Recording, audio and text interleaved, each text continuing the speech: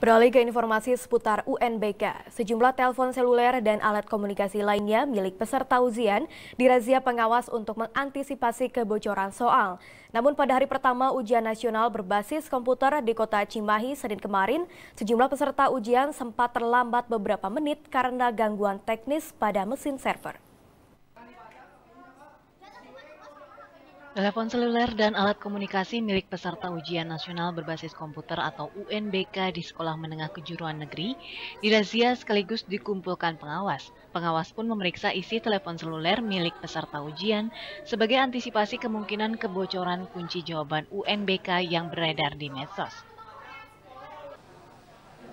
Kamis ini, siswa SMK di seluruh Indonesia, termasuk kota Cimahi, serentak melaksanakan UNBK. Di SMKN 2 Kota Cimahi sempat terjadi gangguan teknis pada hari pertama UNBK Senin kemarin. Peserta ujian di salah satu ruangan pun terlambat mengerjakan ujian selama 15 menit dari jadwal awal. Tapi hingga hari terakhir semua berjalan lancar.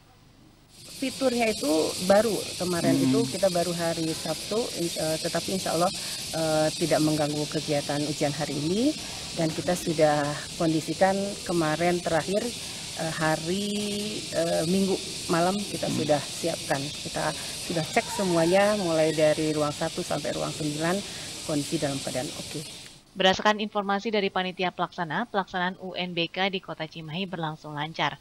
Belum ada informasi terkait kebocoran kunci jawaban. Selain itu, setiap sekolah sudah mengantisipasi berbagai gangguan, termasuk padamnya listrik, karena telah menyiapkan mesin genset. Algi Muhammad Gifari, Bandung TV.